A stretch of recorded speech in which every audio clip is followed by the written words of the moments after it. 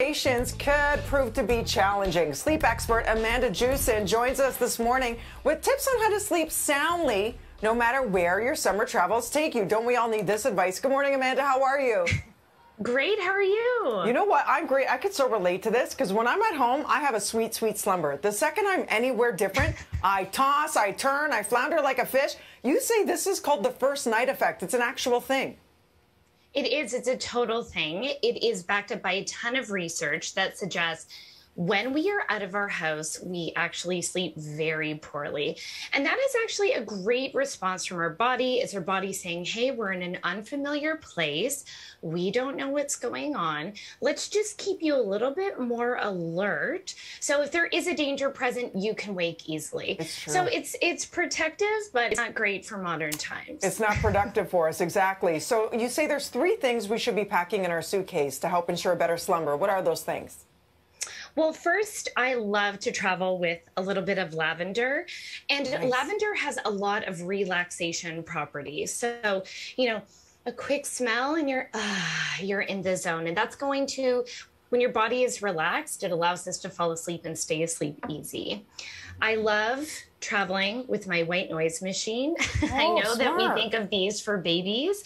You can also download one of these onto your iPhone, but the white noise really helps us. Um, uh, cancels out all of the noise in our area. So let's say you're in a hotel and you hear everyone's party noise from down the hall, or you're at a cottage and you're traveling with another family and they're up at 5 a.m. and you definitely don't want to be. Just crank your white noise up a little bit. It's going to allow you to sleep soundly. Finally, this is a little bit weird, but stay with me. I travel with garbage bags. okay.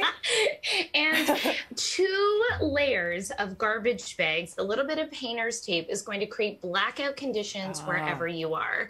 So if you're in a cottage with some oddly shaped uh, windows, you can cut the garbage bags. They fit any window. You're going to sleep like a baby. Or you just better. have to be careful when taping them, right? Because they'll charge you if you rip some paint off.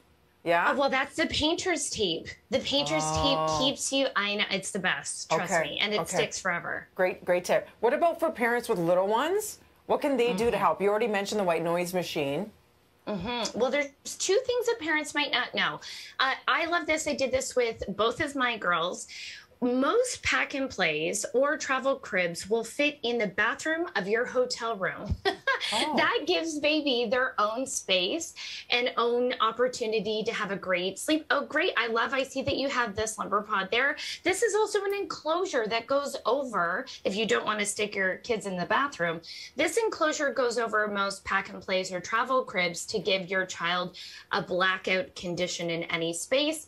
And finally, the easiest thing that anyone can do and they can start right now is implement a bedtime routine. That is something you don't have to pack. It goes everywhere.